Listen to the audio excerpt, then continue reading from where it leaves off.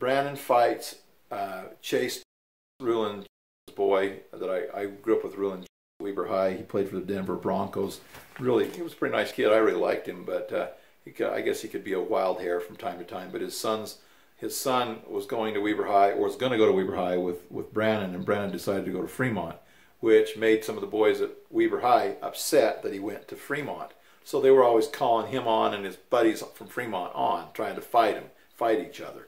Well, anyway, finally him and Chase finally got at it down at Smiths and 12th Street on uh, Harrison uh, one night, and they fought for. Brandon says they fought for you know five or ten minutes. I don't know what the, I don't know exactly what happened, but he came home that night and he was just tired.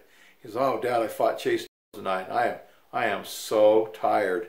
Anyway, he had a few scratches and stuff on him, but uh, overall he was in really good condition.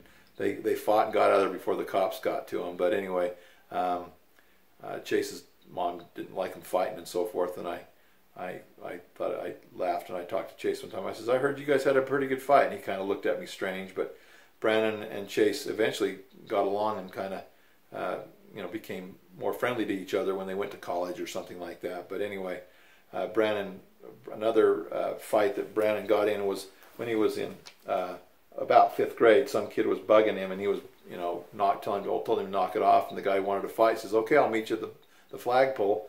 And Brandon went out by the flagpole and was waiting for this kid. I think he might have been a sixth grader, but I'm not sure.